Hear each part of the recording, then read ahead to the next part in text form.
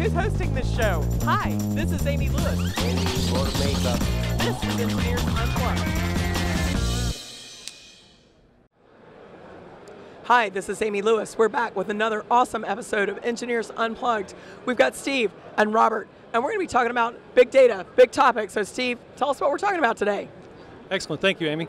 Okay, so really we want to talk a little bit about the common platform architecture. And I want to take this as a little different spin. Robert, I understand you've got a lot of uh, UCS servers, right? But my understanding is you have zero blades in your environment, like well over 500 servers, but none of those are blade servers. You tell us a little bit about that and why you don't have any blade servers when you've got UCS.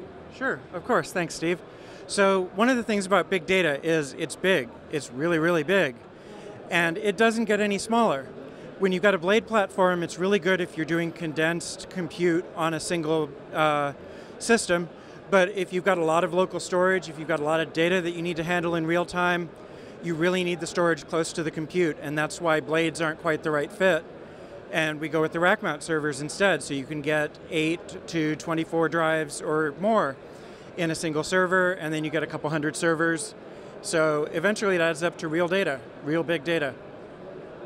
So that's, yeah, that's why we're not doing blades. Okay, so you're telling me that a rack mount server works under UCS and you just need a bunch of hard drives instead of just having a small blade server, right? So, so show us what you mean here.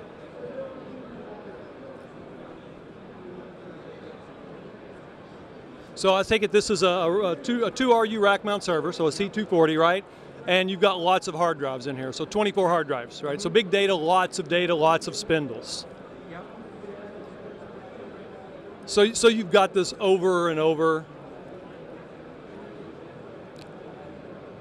500. You have 500 C-Series servers. Okay, no, wait, wait. I thought there was a limitation of 160 servers in C-Series. Uh, I'm sorry, in UCS. Yes, there is actually. However, it is a temporary limitation. It's sort of a speed bump. You deal with UCS servers in the form factor of a pod or domain, and that's a single management point.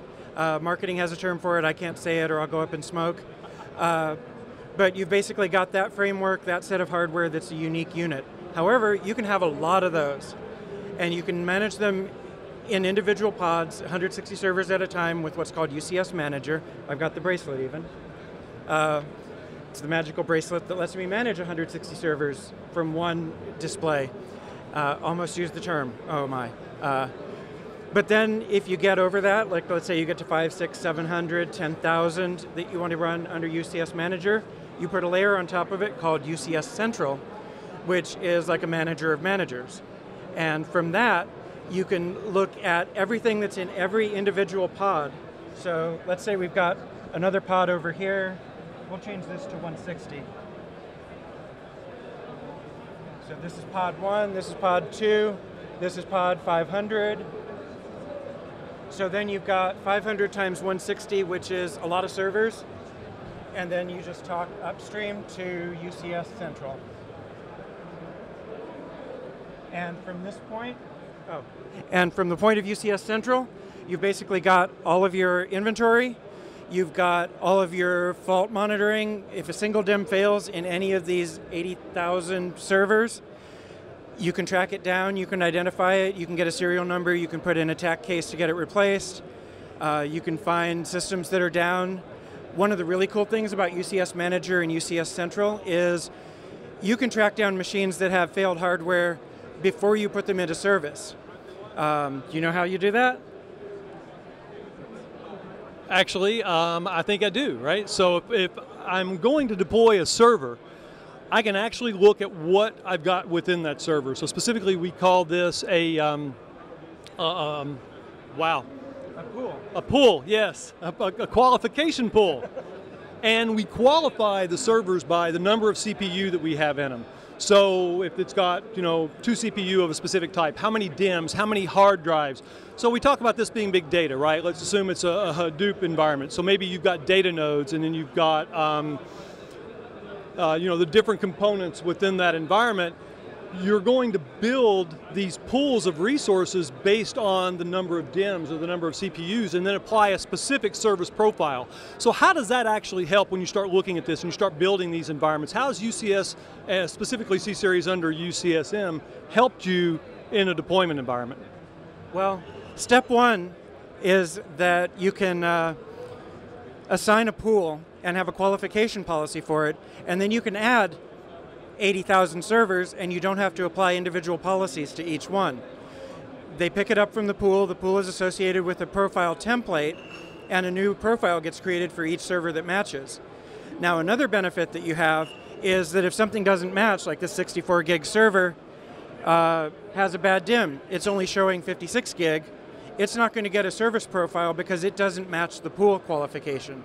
So when you deploy 80,000 and you see 79,999 servers, you know one is wrong. You can track it down because it's not associated with the policy, and then you can go find it and fix the memory, put it in the pool, it comes up. You know, instead of what used to take days, weeks, months, now it takes hours, maybe a day. Excellent, thanks. Okay, we know what time it is now. We've never before attempted this on Engineers Unplugged, but as big data and with a big whiteboard, I think it's big unicorn challenge time. I want you to draw the biggest unicorn we've ever seen on Engineers Unplugged. You might have to work together. Go, go.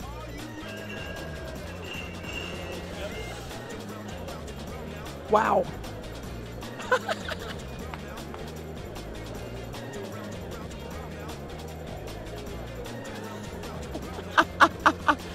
wow. That is awesome. Big data, big unicorn. Don't be afraid. Thank you, Robert. Thank you, Steve. That was really cool. We'll see you next time on Engineers Unplugged.